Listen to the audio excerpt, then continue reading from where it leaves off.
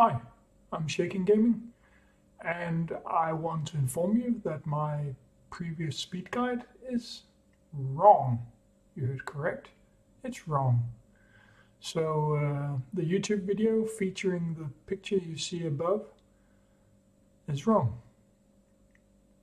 We saw some examples that made us consider if it was correct, the speed guide uh, that I've posted and uh, it showed that it wasn't.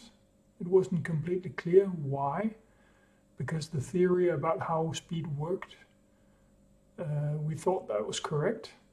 Turns out, it's wrong. So both the speed guide and the understanding of how turn meter and uh, who takes next turn has been wrong until this moment. Because recently we discovered how it actually works. Well, that's our new new theory, and so far we haven't found any uh, errors with the new system. So without further ado, here we go.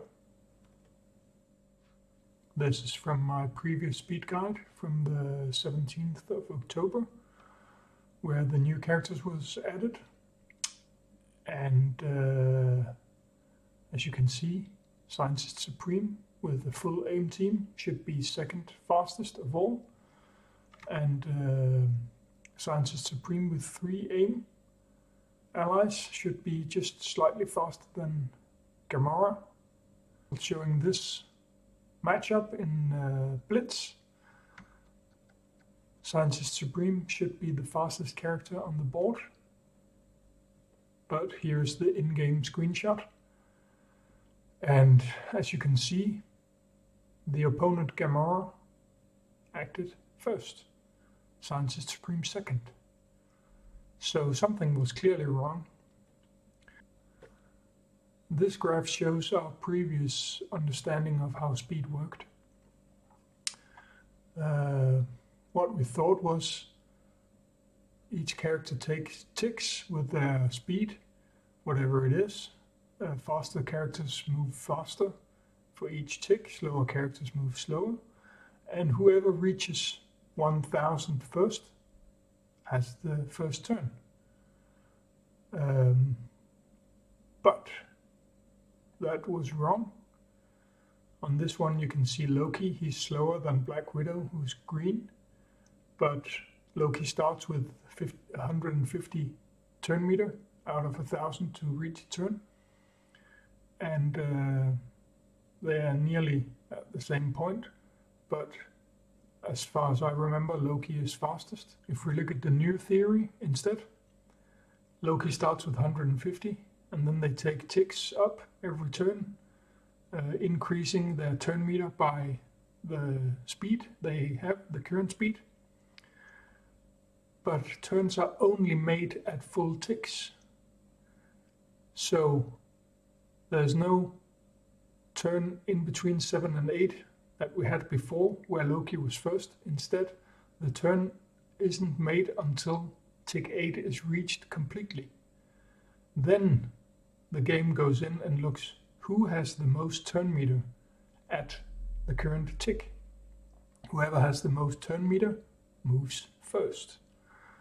So Black Widow is actually faster than Loki on turn one.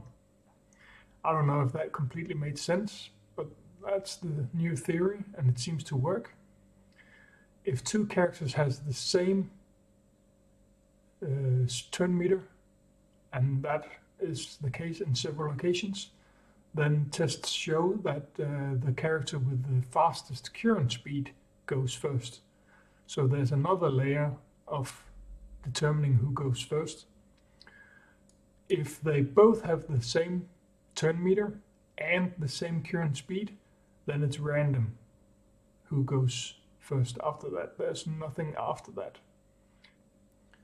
If we look at the last speed guide I posted comparing it to the new one, then we can see Magneto is still the fastest one, but instead of AIM uh, Scientist Supreme, I mean, goes second uh, over here She's actually moved down to fourth place behind Okoye and Black Panther as long as they're together with Shuri.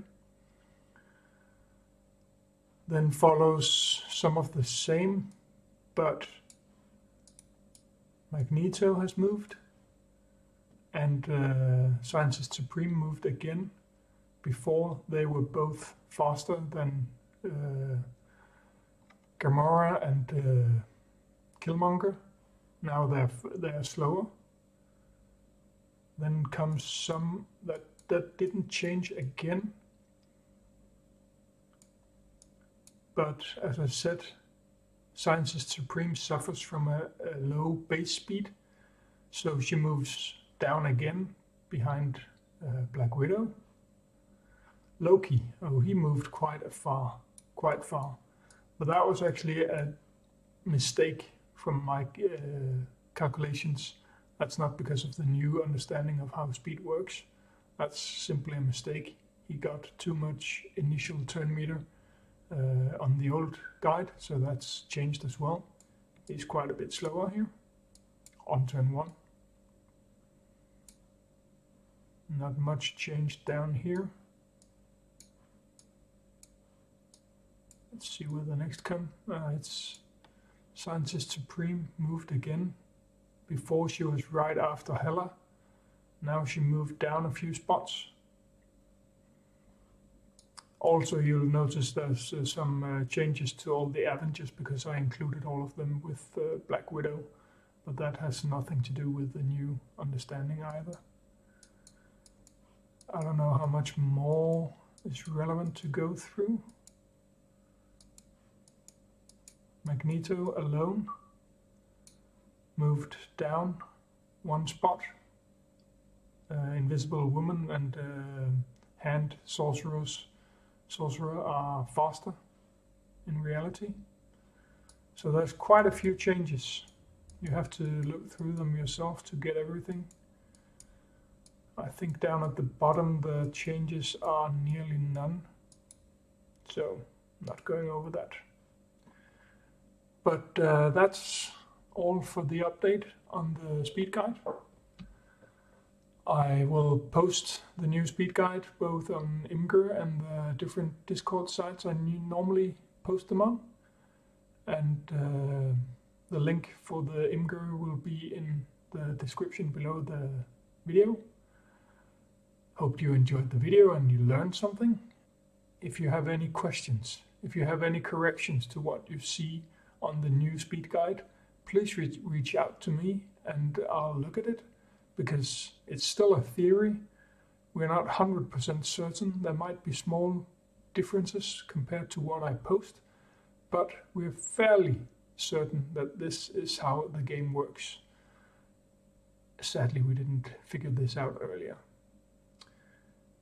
Subscribe if you want. Don't if you don't want it. Uh, hit the like button if you like the video. Thanks for watching.